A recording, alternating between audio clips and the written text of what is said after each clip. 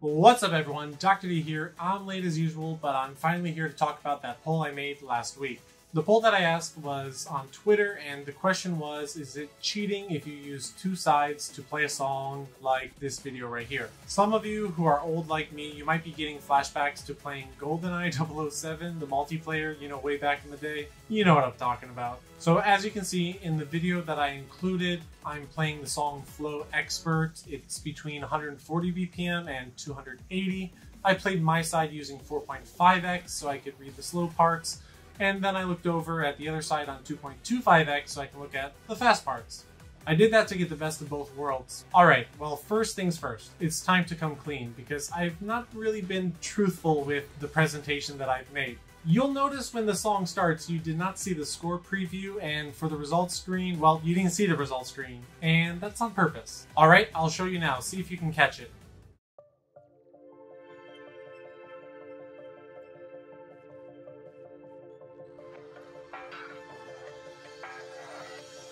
Did you catch it? As you can see, when the song starts, you can see that my highest record is already an MFC. And to further cement it at the results screen, it does not say it's a new record. That's because I actually already MFC'd this song earlier and I was not using two players. Okay, so maybe I tricked you, maybe I didn't, who cares, what's the point? Well, that's why I'm making this video. I really wanted to get people's genuine reactions and opinions about this topic. I felt like having in-your-face video like this one would be a good starting off point. If it was just like someone passing their first song or something using this kind of method, I don't think it would have hit so hard. But if I was trying to pass off a new expert or challenge MFC using this method, I felt that it would be more engaging. There are other reasons too. Another minor reason is that uh, my capture card has kind of just been taking a shit recently. I'm not sure you've seen some of my recent videos, live streams, MFCs, all that kind of stuff. I don't know, my, my capture card is just like breaking. So I kind of wanted to just redo the MFC just so I had a cleaner video. So that's one reason, but honestly, that's a really small reason. And before getting into my main reason, how about we go over that poll? Before getting to my main point, I thought it'd be good to go over the results. I'll be taking a look at the overall opinions on why it is cheating and why it isn't cheating, and then I'll share what I think. As for the results, I was actually a bit surprised. With nearly 300 votes, about 75% said that it is not cheating, while only 25% considered this method to be cheating. And yes, it was on purpose that I made it a yes or no question, and I specifically wanted to use the word cheating. I know that a lot of people feel that maybe it's not cheating, but it's kind of like cheap or cheesing or, you know, just like being a little dishonest. But I wanted a clear cut yes or no, is it cheating response. Okay, so let's start by going over the points that say it is cheating.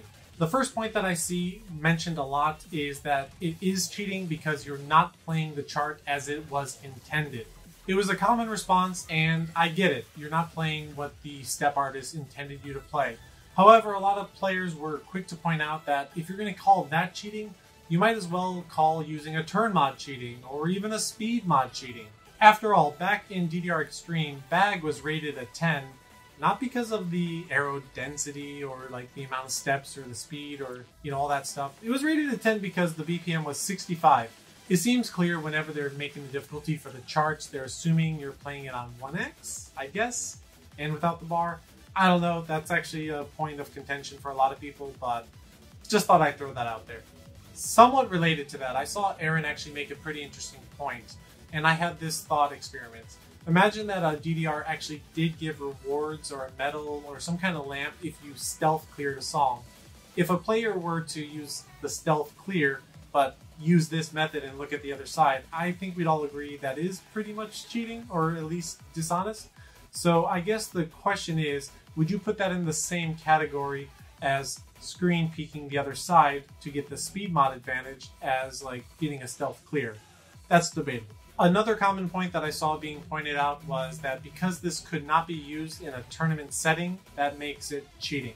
Again, a lot of players were actually quick to point out that this totally could be used in a tournament, and in fact, some people think it's been used at the KAC stage a couple times. The first one was back at KAC the third, and this was in the semifinal round where Gaho picked 888 Challenge, and he used a high speed mod and his opponent used a slower speed mod, and some players think that Gaho is looking over at the other side during the fast section at the end. It's not provable, but there's definitely some people who think that is what happened. And to be fair, nowadays a lot of players do actually try to memorize the ending of 888 Challenge so that they can use a faster speed mod. Whether he did or not, it's up for debate. The other instance, and I can't remember which KAC off the top of my head, I think it was the ninth, uh, you had Fifems, he picked Valkyrie Dimension Challenge, and a lot of players think that he used a uh, faster speed mod so that he could screen look over at the other side during speed up. Again, no verifiable hard evidence, but a lot of players tend to think that it is actually happening at KAC tournaments. So take that for what it is. Regardless if you believe those two things actually happened or not, it does prove that it could technically happen in a tournament setting. It would depend on your opponent, the song, and what speed options they pick, but it's totally plausible to be implemented in a tournament setting. The last point I saw was probably the best point, and that is it is cheating because ultimately you're cheating yourself. In short, if you're trying to get better and you're using methods like this, the chances are you're kind of hurting yourself in the long run. You're missing out on some lessons and some growing you could be doing. And put it like this if a player was able to match your score on a song and they did it without using this method, and you had to use this method, I think by and large, most people would agree that the player who does not need a crutch like that is probably a better player than you are. Okay, so now let's go to the points for the people who are saying it is not cheating. There were a lot of opinions here, but I think I can kind of just sum it all up into just two points. The first point is it's not cheating because basically anyone can do this. Anyone has access to this. There's nothing stopping you or another player from putting in two credits and being able to do this so therefore it's not cheating. Furthermore, you're not changing the timing windows of the song, you're not messing with the sync, and ultimately you are performing the actual actions throughout the entire song. No one's helping you, you are still performing it. The second point of why it's not cheating is the point that I actually really like, and it clears up a misconception, and that is it's not cheating because it's actually very risky and challenging to do this. Anyone who's tried this would know that doing this does not make it automatically easy mode. It actually takes a lot of real skill and practice to master this method. I only uploaded and showed you the one successful attempt I had to make my point. What you didn't see were the countless, and I mean countless, of fails of me trying to get the MFC by doing this strategy. The reason why it's so difficult is because of the lack of feedback. You see, when you're playing on your side, you're hitting the arrows, you're getting the instant flash, you're getting the feedback if you're on the marvelous timing or the perfect timing, and you have that visual cue. When you're doing this screen peeking method, you don't get that anymore. Every time you hit, you're seeing miss. You don't really know what's happening on your side. So you, there's like a lot of gymnastics going on in your brain trying to trick yourself to be able to actually perform like that. Additionally, looking over like physically looking over to the other side is going to result in some kind of panic or it's just it's not going to be a smooth transition so being able to do that on the fly is a lot more challenging than you might think if you've never tried it yourself to be fair my point right now is specifically talking about maing or trying to get like an mfc if you're trying to get an mfc or trying to ma the song it's going to be really hard to stay in that window but I will admit, if you're just trying to either pass or full combo or PFC a song, you'll probably have a lot easier time, and this method could definitely be a lot more, I, I guess I would say, exploited for getting that. But for getting MFC specifically, it was unbelievably difficult.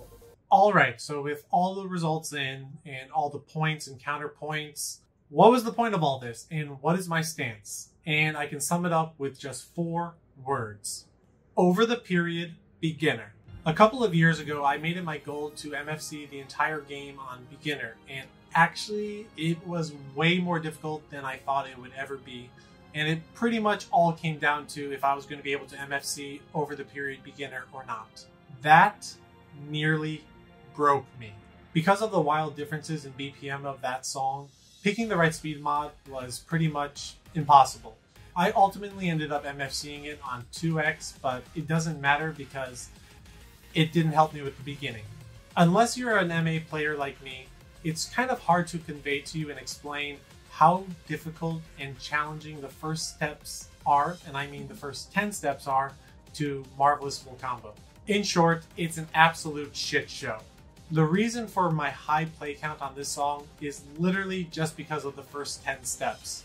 To give you a little bit of context, I probably had at best a 5 to 10% chance of actually MFCing the first 10 steps. It is that difficult. And on top of that, just because you get the first 10 steps, you're not done. No, you are absolutely not done yet because there's a stop and you got to count it out and then you got to transition into the next section. And okay, fine, you finally get that. Congratulations. You're still not fucking done because even if you took away those first 10 steps, even if you took away that first transition, it's still one of the hardest, if not the hardest motherfucking eight in the entire goddamn game. What made things extremely painful was I just couldn't get in the zone. I would spend 30 minutes straight even trying to get the first 10 steps. And by the time I finally had a run that got past it, guess what? I am totally not in the mood or in the zone to get what's coming up next. And like I said, it's not exactly a walk in the park just because you cleared the first 10 steps. Most of you don't know my struggle with this song because I didn't really talk about it. I didn't post about it and I didn't stream it. I didn't stream because I wanted to really focus and try to nail it and I just I needed everything I possibly could. So that's why you didn't really hear much about it.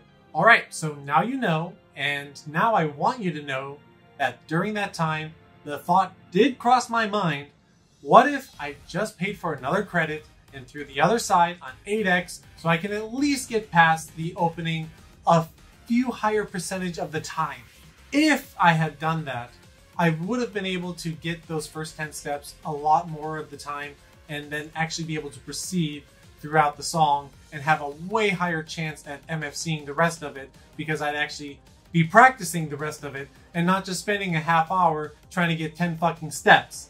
But no, it didn't happen. So instead, over 800 goddamn plays later, on using 175 or 2 or maybe 2.25x, I finally MFC'd it. I can promise you I would have MFC'd it a lot sooner if I just had the first 10 steps on lock. Fun fact, everything that I'm doing right now was actually planned to be done with over the period beginner when I MFC'd it. After I MFC'd it, I did want to make the same video that you saw for Flow. I wanted to re-MFC it using one side on 8x and then I play that one on 2x, but it ended up not happening. For one, I was just sick and tired of fucking playing that song. I just did not want to play it again after that. Stand, if you will, right next to me, wrapped around the wind of eternity. And two, uh, the timing really did not work out. At the time, it was on DDR A20, and right after I MFC'd it, we like pretty much got A20 plus, and it just released so then like I had a lot of plays playing it on like A20 and that's where my MFC was, but A20 plus just came out. And if I if I uploaded the video that I wanted, but it was using the A20 hardware and software and uh, just it would have been really confusing so I ended up just scrapping the whole thing. Okay, so that brings us to today and now. So, what do I think and what am I going to do going forward? To probably no one's surprise, I do not consider this cheating, and I want to emphasize the word cheating. If you use this method, I would consider it much closer to the other example I gave earlier, where you have two players, they can both get the same score on a song. One of them is doing it using this method, the other one is doing it quote unquote legit. In a situation like that, I think you'd have more respect for the person who can do it without it. But ultimately, the score saves, it's still done so I wouldn't say it's cheating, but I also wouldn't consider both players equally skilled if they are getting the same score but using these two different methods. Make sense? Similar to like if two people can PFC bag, but one person's doing it on 1x, they're both PFCing bag, but obviously one's a little bit more challenging. I needed to throw all this out here because I've been considering in recent months and years about also trying to MFC the game on basic. So it was such a challenge getting it on beginner because of OTP and a few other songs. And I just refuse to go through that again if I'm doing it on basic. That is, unless I'm allowed to use this kind of method to do it. Because I I just will not play over the period again, especially on basic, because the beginning is even more of a nightmare. It's more than 10 steps. I will not do that again on just 2x or 2.25. I refuse to do that. The only way I would ever, ever try to MFC over the period basic is if I had the blessing of the majority of the community to actually use a method like this and try to MFC it. There are a couple other songs too that could benefit, like Valkyrie Dimension, Elemental Creation, even though I already got that, and a few others.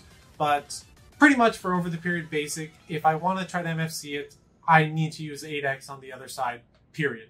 And yeah, now that the poll is done, and I do see like 75% of people actually are okay, or at the very least don't consider this kind of method cheating, I might start making attempts like this going forward. However, currently, and this is my own personal opinion, I will not be using this to get new MFCs on Expert or Challenge. I kind of hold those MFCs in a higher regard, so I wouldn't want to use a method like this to get a new MFC on those difficulties, but I would be okay using it personally for basic or say difficult. Again, this is my personal thing. Everyone has a different line, I think.